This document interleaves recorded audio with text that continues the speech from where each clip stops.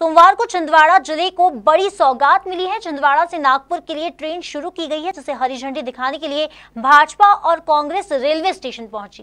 भाजपा के पूर्व मंत्री चौधरी चंद्रभान सिंह का कहना था कि मोदी जी द्वारा सौगात छिंदवाड़ा ज़िले को मिली है। वहीं दूसरी ओर कांग्रेस के जिलाध्यक्ष गंगा प्रसाद तिवारी का कहना है कि यह सौगात पूर्व मुख्यमंत्री कमलनाथ ने दी है, जिसको लेकर सोमवार को रेलवे स्टेशन पर कांग्रेस और भाजपा के लोगों का दोनों ही पार्टी कार्यकर्ता नारेबाजी करने लगे। वहीं मौके पर पहुँचे पुलिस बल ने दोनों पक्षों को समझाइश दी। बता दी कि रेलवे लाइन का काम चालू था, इसलिए छिंदवाड़ा से नागपुर ट्रेन पाँच वर्षों से बनती। पहले दिन छिंदवाड़ा से नागपुर और नागपुर से छिंदवाड़ा ट्रेन में 250 यात्रियों ने ट्रेन में सफ़र किया। सर, आज छिंदवाड़ा से इतवारी, छिंदवाड़ा से लेकर इतवारी तक पहली ट्रेन शुरू हुई है। इससे पहले छिंदवाड़ा से इतवारी अंतिम ट्रेन 31 अक्टूबर 2015 को गई थी। तब से पाँच साल के लंबे इंतज़ार के बाद में आज ये ट्रेन शुरुआत हुई है ज़िले वालों को, हमारे मध्य क्षेत्र के छिंदवाड़ा के वासियों को एक नई सौगात मिली है आज। आज पहला दिन था, काफ़ी गहमा गहमी थी, उत्सव का माहौल था इस शहर में। और इस माहौल में हमने 130 170 टिकट बेची है सॉरी 170 टिकट आज हमारी इसमें बिकी है, जिसमें कुल पैसेंजर, कुल यात्री 250 गए हैं। और जिससे रेलवे को दस हज़ार छः सौ पंद्रह रुपये का राजस्व प्राप्त हुआ है।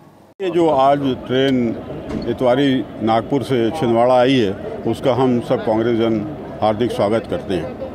ये सब लोगों को विदित है कि इस ट्रेन की शुरुआत करने के लिए सबसे ज़्यादा प्रयास माननीय कमलनाथ जी ने किए और इसका शिलान्यास भी कमलनाथ जी के द्वारा किया गया। ये ट्रेन जो है, निश्चित रूप से भारतीय जनता पार्टी के शासन में चालू हुई है। परंतु यदि इसका श्रेय किसी को जाता है तो माननीय कमलनाथ जी को जाता है। जब केंद्र में कांग्रेस की सरकार थी तो लगातार इसके लिए फंड जो है माननीय कमलनाथ जी लाते रहे हैं और उसी के कारण इस ट्रेन की प्रगति हुई थी। सरकार ये ट्रेन का काम भी माननीय कमलनाथ जी के द्वारा किया गया। अब ये झूठा श्रेय लेने वाले लोगों को मैं कहना चाहता हूँ कि ये जो समय है ट्रेन का, इसको बदलवाने का वो प्रयास करें। क्योंकि ये जो ट्रेन है, यहाँ बारह बजे आती है। हमारे बहुत सारे व्यापारी बंधु हैं हमारे बीमार लोग हैं, जो जाकर के वहाँ चिकित्सा कराना चाहते हैं या अपना व्यवसाय व्यापार करना चाहते हैं। ये 12 बजे ट्रेन चल करके, साढ़े बारह बजे बारह चालीस पे चल के ये पाँच, साढ़े पाँच बजे पहुँचेगी। इसका कोई उपयोग निश्चित रूप से नहीं हो पाएगा। ये ट्रेन सुबह यहाँ से चालू होना चाहिए सात बजे, ताकि लोग, बीमार लोग आराम से अपना इलाज कराने जा सकें। व्यापारी दिन भर अपना व्यापार कर करें, सामान खरीदें और उसके बाद शाम की ट्रेन से यहाँ वापस आएँ। नागपुर और इसको इतवारी की जगह नागपुर स्टेशन से चलना चाहिए मुख्य स्टेशन से चलना चाहिए। आज छिंदवाड़ा से इतवारी के लिए छिंदवाड़ा ज़िले वासियों को देश के यशस्वी प्रधानमंत्री श्री मोदी जी द्वारा ये सौगात दी गई है और जल्द ही जो जनता को सबसे बड़ी समस्या इसमें सामने आ रही है कि ट्रेन का टाइम सुबह रहना चाहिए तो पूर्व मंत्री चौधरी चंद्रमान जी से हमारी बात हुई है वो रेल मंत्री जी से चर्चा करेंगे।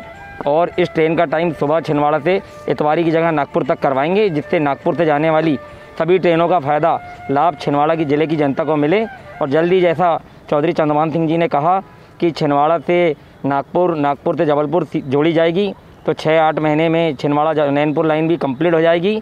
और चौधरी चंद्रमान सिंह जी ने कहा, पहले ही कहा है कि वो पूरा प्रयास करेंगे कि नॉर्थ की और नागपुर से लेकर जबलपुर तक की बाया छिंदवाड़ा होते हुए सारी ट्रेनें मिले। ज़िले वासियों को बहुत बहुत बधाई। इस ट्रेन को शुरुआत कराने का श्रेय अगर किसी को है तो सुंदरलाल जी पटवा को है। जब वो छिंदवाड़ा के सांसद थे, उन्होंने रेल संसद के अंदर में विषय को उठाया। रेल मंत्री रामविलास पासवान जी ने उस समय संसद के अंदर में स्वीकृति दी और भूमि पूजन का कार्यक्रम नागपुर के अंदर हुआ। माननीय पटवा जी उसमें थे। अपने उस समय के रेल, तत्कालीन रेल मंत्री रामविलास पासवान जी उस समय वहाँ पर थे। हम लोग थे, अनुसुईया जी थे। वहाँ से इसकी शुरुआत हुई। फिर पटवा जी के प्रयास से प्रारंभ हुआ, मर दस साल 2004 से लेके चौदह तक, जब केंद्र में कमलनाथ जी की सरकार रही। तो उन्होंने ध्यान ही नहीं दिया। उस दस साल में मात्र सौ करोड़ रुपए सिर्फ़ रेलवे के लिए मिला, बाकी पैसा नहीं मिला।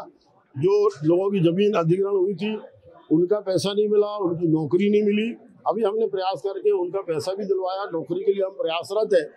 मगर हमने उस समय जब माननीय जावड़ेकर जी, जो छिंदवाड़ा के उस समय केंद्र से मंत्री थे, प्रभारी छिंदवाड़ा के, हमने उनसे निवेदन किया।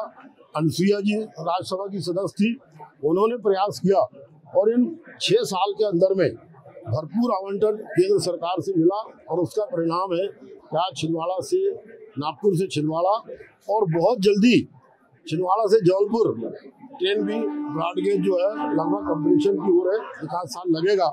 छिंदवाड़ा से राकेश पाल की रिपोर्ट।